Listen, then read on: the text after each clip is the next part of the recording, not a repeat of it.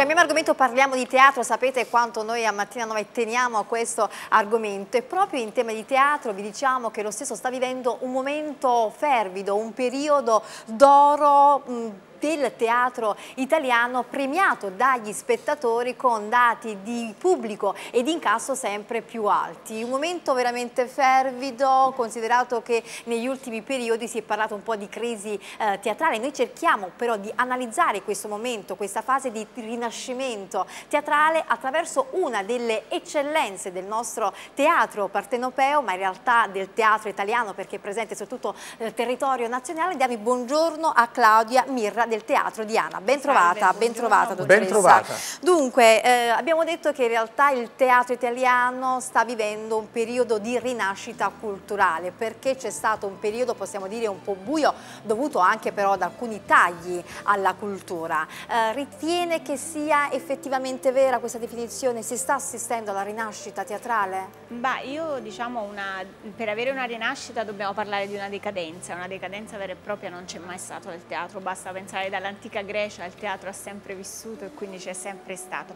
Sicuramente diciamo magari c'è stato un periodo un po' più, ma diciamo di oscuro forse, ma ehm, di una vera e propria rinascita non possiamo, non possiamo, parlare, anche perché i dati parlano chiari, basta pensare, stesso partendo da Napoli, noi siamo come città proprio, abbiamo degli indici altissimi di spettatori, di fruitori di sala, di affluenza sala. Il Teatro Diana è sicuramente il primo teatro in Italia come numero di spettatori, come numero di abbonati, proprio quest'anno abbiamo toccato i 10.000 abbonati, ci avviamo alla 39esima stagione di prosa, quindi già da 30 39 anni noi presentiamo eh, cartelloni con abbonamenti che eh, cominciarono i miei genitori e adesso ancora noi insomma, facciamo questi abbonamenti raggiungendo quota 10.000 quindi diciamo che una vera e propria decadenza non si è mai, si è mai avuta.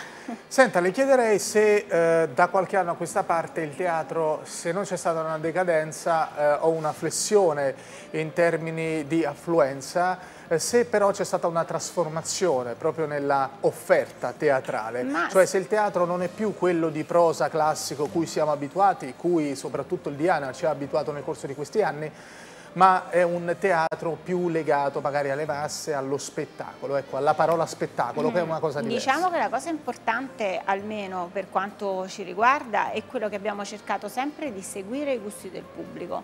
La cosa importante è non ancorarsi su certe cose magari che passano mm. e cercare di seguire soprattutto quelli che sono i gusti del pubblico. Aggiornarsi. aggiornarsi, esatto. Certo, quello che si è notato è che anche l'età del pubblico però in questi anni si è molto abbassata. Sì. Eh, qual è stata la motivazione secondo lei? La scelta di toni comunque più leggeri pur tenendo eh, fede alla qualità eh, del contenuto eh, teatrale? Sì, allora sicuramente appunto i giovani si sono avvicinati moltissimo al teatro, questo devo dirlo anche noi stessi abbiamo mh, diciamo differenziato anche uh -huh. i mhm. tipi di abbonamento proprio per dare la possibilità anche ai giovani di avvicinarsi al teatro, infatti noi facciamo sempre ormai da una ventina d'anni due tipi di abbonamento, l'abbonamento che noi chiamiamo palcoscenico che ha un riferimento un po' più classico eh, con spettacoli ovviamente anche di prosa uh mhm. -huh. e poi facciamo un tipo di abbonamento che chiamiamo quadrifoglio Consiglio, eh, che solo quattro spettacoli, quindi anche come prezzo un po' più contenuto proprio per i giovani, dove proponiamo spettacoli adatti ad un pubblico più, più giovanile, in modo tale che i giovani vengono a teatro. Senta, sì. a questo proposito noi siamo scesi appunto per le strade di Napoli per chiedere proprio ai partenopei che tipo di scelte effettuano al cospetto di un teatro? Quali sono i loro gusti? Che cosa vanno a preferire? Vediamoli insieme. Interessante. Eh, di solito, non di solito, diciamo che manca a farlo apposta, vado domenica. Che spettacolo va a vedere? Ma spettacoli diciamo leggeri, eh, operette, cose diciamo piacevoli, allegre. Ma sempre varietà. Spettacoli quindi divertenti? Sì, che non ti impegna molto.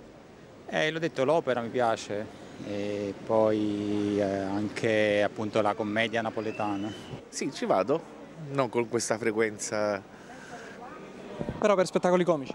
Sì, assolutamente. Eh, spettacoli abbastanza leggeri, qualche volta può capitare anche qualche spettacolo più impegnato, ma preferiamo spettacoli leggeri.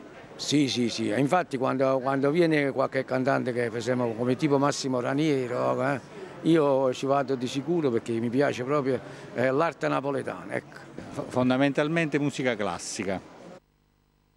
Musica classica, è, è, una voce fuori dal coro a questo eh, punto, infatti. perché il resto, mi pare di capire, insomma, la voce è unanime ed eloquente, si predilige uno spettacolo più eh, leggero da un certo punto di vista. Lei come commenta questa tendenza? Ma eh, diciamo leggero, bisogna sempre capire che cosa si Rispetto intende. naturalmente al campione di persone che abbiamo intervistato. Diciamo poi a Napoli quello che abbiamo è che ogni teatro ha una caratteristica e quella è la cosa importante, in modo tale che il pubblico sa dove deve andare se cerca quel genere di spettacolo. Mm. Questo è vero.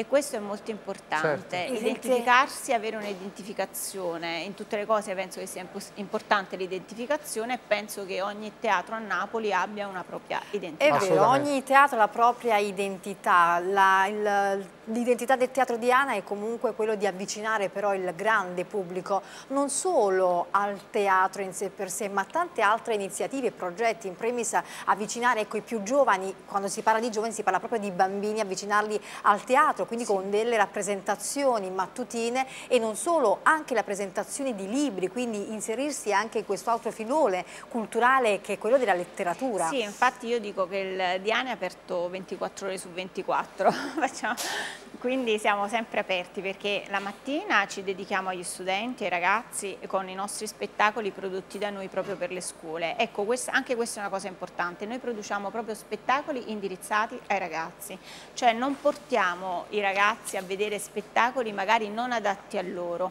Questa cosa fa sì che ehm, i ragazzi seguino di più e più facilmente il teatro, infatti pro- produciamo anche spettacoli per i bambini proprio di scuola elementare. Questo è molto importante. Esatto, è importante perché portare i ragazzi così in massa a teatro senza dargli invece un qualcosa che possa essere per loro capito. Assolutamente. E, e gli insegnanti vengono preparati prima, vengono inviate delle circolari dove gli insegnanti li preparano a venire al teatro. La mattina poi facciamo le, appunto, gli incontri con i ragazzi per le presentazioni di libri, letture di libri, un'idea che è nata eh, con il mio amico Maurizio De Giovanni che mh, mi dette quest'idea, io colsi subito al volo queste presentazioni di libri. Poi facciamo anche scuole, cioè abbiamo una scuola di recitazione, una scuola di canto e di musica e da quest'anno, dall'anno scorso abbiamo aperto anche la scuola di scrittura teatrale per i ragazzi. Questa è per esempio una novità, la scuola di Sì. scrittura teatrale è È davvero una novità, sempre innovazione con l'aiuto di Maurizio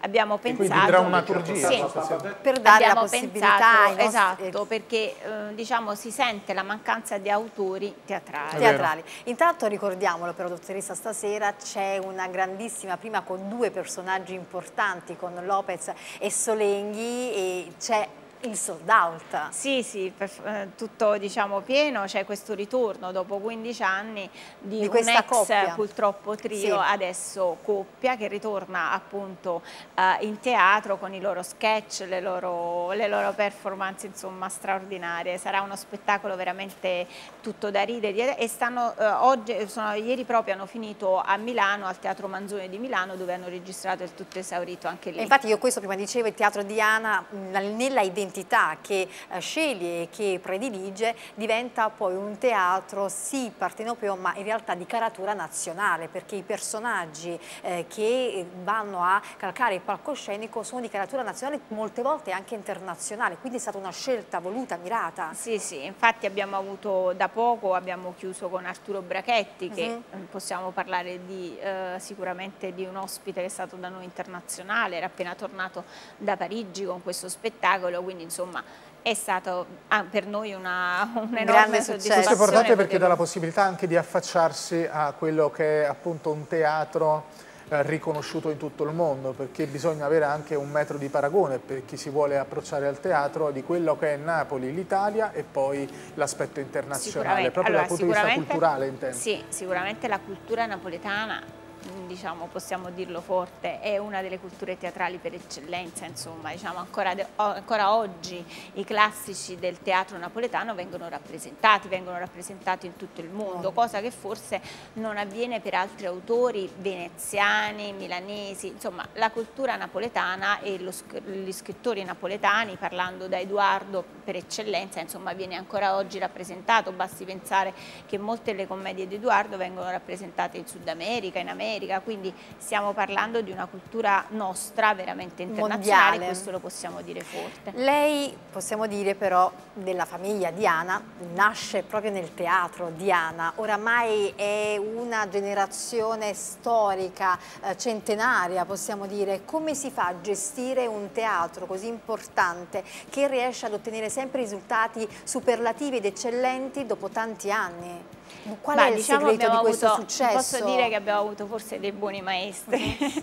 Eh, sicuramente mia madre, che purtroppo non c'è più, è stata un'ottima un'ottima maestra e adesso invece mio padre, Che che, è ancora, salutiamo. diciamo, esatto, che è che è stato qui ospite da attivo- noi e ha esatto. presentato quel libro fantastico che era veramente commovente, perché è un Esatto. po' la storia del la teatro storia del napoletano. teatro, sì, è un po' la storia del teatro Diana, ma era anche la storia un po' del teatro a Napoli. Sì, sì, Infatti lui ha raccontato molti aneddoti Foto, in questo dediche. libro, foto. È sempre e- lì suo padre? Sì, sì, papà attivamente collabora con noi e- ed è un piacere averlo in ufficio. Quali- Siamo proprio con le scrivanie vicine. Quali le difficoltà, se ve ne sono, nella gestione? Difficoltà in tutti i mestieri ci sono, è sicuramente un mestiere, io quello che dico, piacevole e non avrei potuto fare altro, non ho mai pensato di fare altro perché io dico sempre che sono cresciuta con pane e teatro perché a casa si parlava solo di quello, da quando io ero piccola a Nessun tavola, anche dubbio? la domenica, no mai Ma, avuto ma lei si è dubbi. cimentata anche in scena? No, però ho fatto una volta un aiuto regia, quindi qualcosa di... Adesso Dovrebbe abbiamo, provare. abbiamo una nipote, mia nipote è la figlia di mio fratello che fa l'attrice, Elisabetta Mirra, anzi debutterà, ha debuttato proprio al San Carlo in Così parlo Bella Vista, che, Che poi bello. sarà da noi nel periodo di Natale. Bocca al lupo a Elisabetta, Bocca al lupo, E certo. anche mia figlia sta all'università ma ha già deciso che mi seguirà. Come Anche lei la carriera Sì, sì, seguirà sì, impronte sì. della mamma. Sì, sì, seguirà, seguirà. si chiama sua figlia? Laura.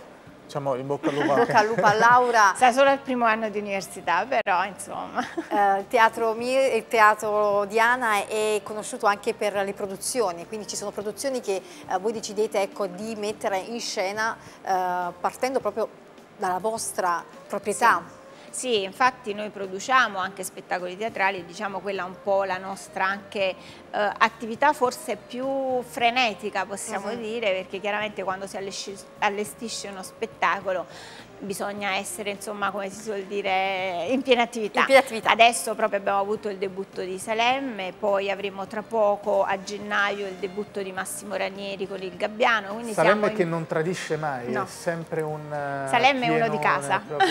Sì, sì, è di casa da noi possiamo dirlo, insomma, e quando viene per noi è una gioia perché veramente è di casa. Quindi tra poco, finita la nostra chiacchierata, lei si recherà al Teatro Diana perché dovrà Sì. incontrare quindi Lopez e Solenghi per questa Sì. primissima teatrale di questa sera. questo saluti. Siamo in pieno insomma- montaggio di scene, adesso al Diana stanno montando le scene e stasera saranno pronti per il debutto. Con un grandissimo pubblico pronto Sì. ad applaudire, eh, sempre Grazie. presente al Teatro di Diana. Noi ringraziamo eh, la dottoressa eh, Mirra per essere stata con noi e per averci raccontato le bellezze del nostro capoluogo partenopeo in termini teatrali. Grazie. Grazie, grazie, Grazie, a voi e buona giornata a tutti. Grazie. Restate con Mattina 9, tra pochissimo le pillole di salute di Espedito Pistone, dopo la pubblicità.